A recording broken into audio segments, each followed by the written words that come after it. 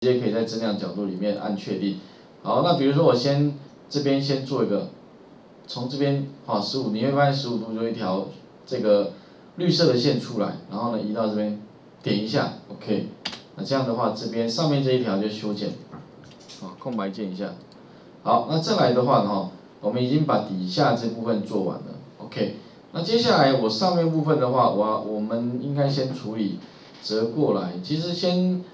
先先做五十，慢呃先五十的部分再来做三十，会比较干净。不然你全部偏移完之后，你会发现线段太多，好，那所以我们逐步先先慢慢哈把这底下做出来。那再来的话呢，我们可以用呃这个这边中线上去，啊你先画一条线，然后分别哈左右各偏移，啊因为总共是五十，所以是吧二十五，Enter，然后偏移把它偏过来，把它偏过去。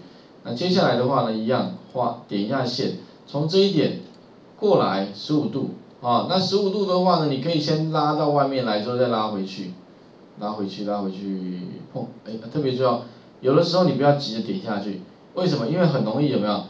这个焦点跟那个什么呢？有没有发现焦点跟终点很接近，对不对？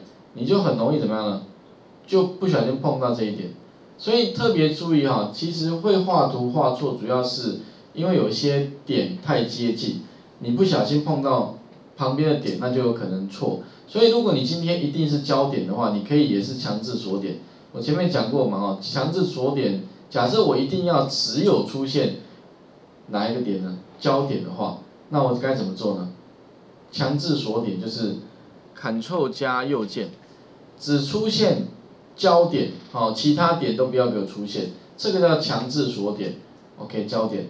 那你会发现呢，如果你这个时候呢，嗯，不过如果强制锁点，好像极坐标就出问题了。那那那算了，这个这个地方把它背回去啊。强制锁点的话啊，你极坐标的角度可能就会出不来啊。好，那再来，OK，那我们就拉出一个这个角度啊，其实一百六十五度拉回来，记。